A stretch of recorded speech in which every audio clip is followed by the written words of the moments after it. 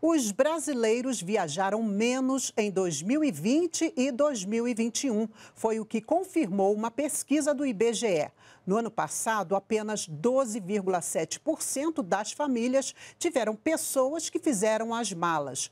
O principal motivo? A pandemia. Depois que se aposentou, o hobby da dona Lia é viajar.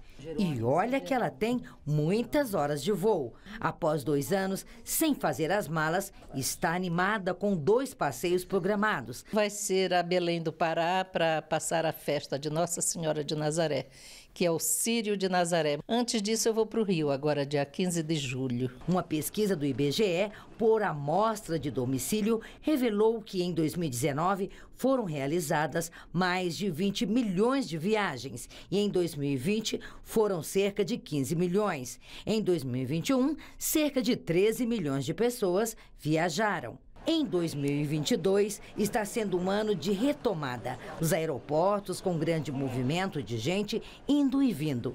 Tayane e a avó já se preparam para embarcar pela primeira vez pós-pandemia. Vou ficar um mês, bastante tempo, né? Porque depois dessa pandemia, né, a gente merece. Segundo a pesquisa do IBGE, menos de 15% das viagens realizadas pelos brasileiros foram a trabalho e mais de 85% foram viagens pessoais. E os principais motivos que levaram as pessoas a viajar em 2020 e 2021 foram visita a parentes ou amigos, a lazer, ou tratamento médico.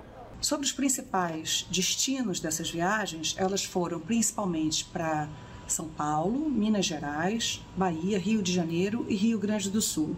A pesquisa apontou ainda que as viagens de lazer continuam em alta e o principal destino dos brasileiros são locais para curtir sol, mar e calor. A gente vai para a praia agora.